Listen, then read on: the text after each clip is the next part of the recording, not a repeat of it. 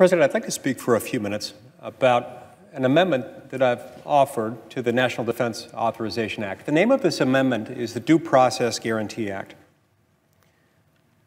Alexander Hamilton, writing in Federalist number 84, called arbitrary imprisonment one of the, quote, favorite and most formidable instruments of tyrants. The Constitution includes safeguards against this form of tyranny including the right of habeas corpus and the guarantee that American citizens will not be deprived of life, liberty, or property by the government without due process of law. Our commitment to these rights is tested from time to time. It is most tested in times of crisis. We've not always passed these tests. During the Second World War, President Franklin D. Roosevelt unilaterally authorized the internment of over 100,000 Japanese Americans for fear they would spy against the United States. The government presented no evidence that these Americans posed any threat to their country uh, because the government had no evidence. Most of the detainees were themselves native born citizens of the United States of America. Many had never even visited Japan during their entire lives. That episode in our nation's history is sadly personal to the state I represent the U.S. government unjustly detained thousands of Japanese Americans in Utah at the Topaz War Relocation Center. Japanese American internment is the most dramatic and shameful instance of detention in our nation's history, but it's far from the only instance. In 1950, in a climate of intense fear about communist infiltration of government, Congress enacted the McCarran Internal Security Act over the, president, uh, over the veto of President Harry Truman. That law contained an emergency provision allowing the president to detain any person he thought might spy on the United States. And more recently than that, in the post 9 11 era, there has been renewed pressure to diminish our constitutional protections in the name of security.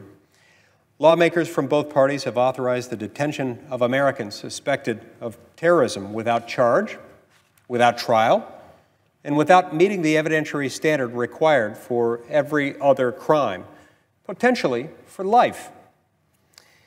In the National Defense Authorization Act for fiscal year 2012, Congress authorized the indefinite military detention of suspected terrorists, including American citizens arrested on American soil.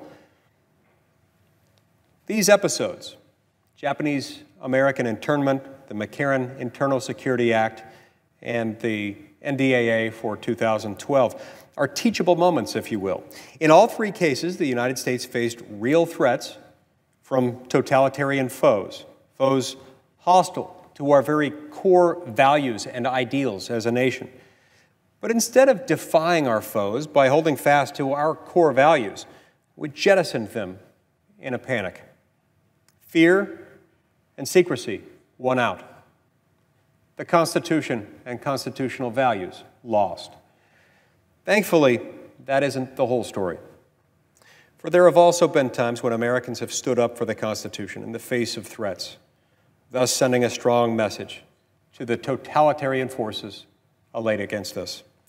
Arrayed against us. For instance, in 1971, Congress passed the Non Detention Act, stating that, quote, no citizen shall be imprisoned or otherwise detained by the United States except pursuant to an act of Congress. Congress can make another stand for the Constitution by allowing a vote on the bipartisan Due Process Guarantee Act, by correcting the mistake in the, uh, the, the very same mistake that it made in the NDAA for fiscal year 2012, and protecting Americans from indefinite detention by government.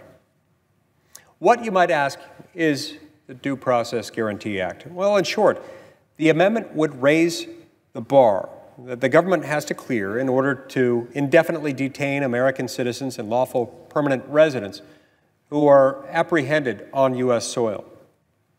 It would forbid the government from justifying such detentions using general authorizations for the use of military force, such as the 2001 AUMF against the 9 11 plotters.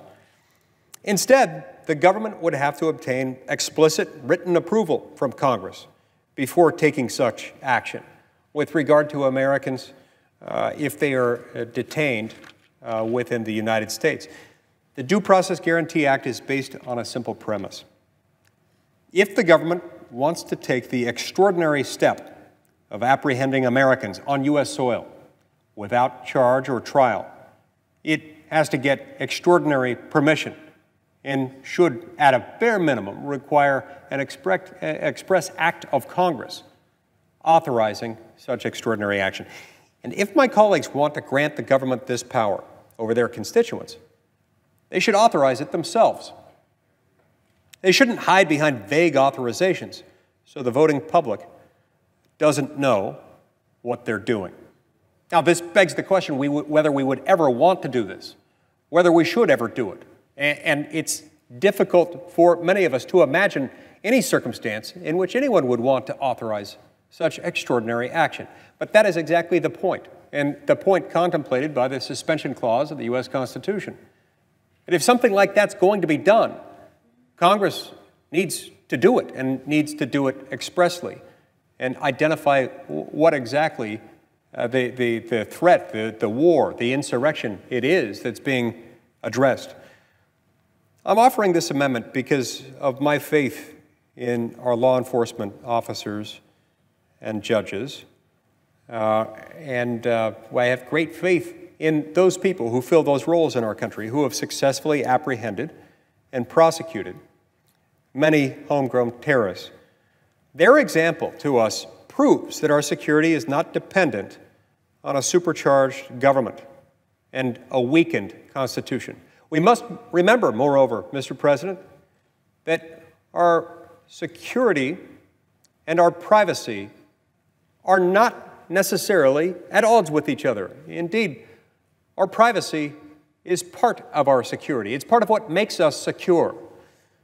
We can secure that homeland without using the formidable instruments of tyrants.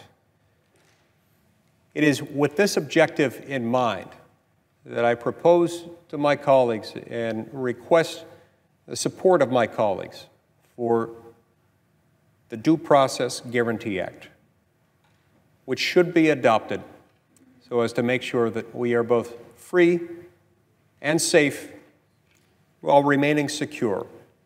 Thank you, Mr. President. I yield the floor and note the absence of quorum.